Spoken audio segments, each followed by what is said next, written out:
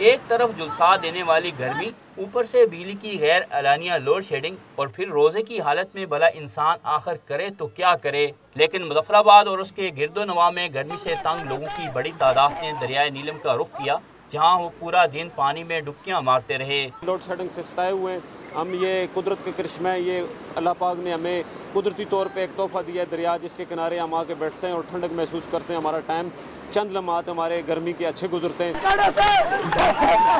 दरियाओं पर आने वाले लोगों का कहना है कि रमज़ान के दौरान लोड शेडिंग में गर्मी से बचने के लिए उनके पास दरिया में नहाने के सिवा और कोई चारा नहीं।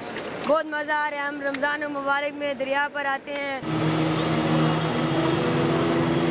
जिली इंतजामिया ने दरियाओं में पानी के तेज बहाव के बायस गहरे पानी में लोगों को जाने से रोकने के लिए पाबंदी तो आयद कर दी है, मगर इसके बावजूद नौजवान दरिया की बिफरी मौजों के साथ अटकेलियाँ करते नज़र आते हैं।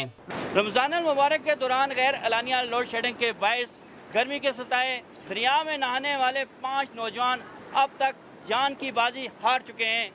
कैमरामैन शाहजेब अफजल के साथ औरंगज़ेब जलाल 24 न्यूज़, जफराबाद।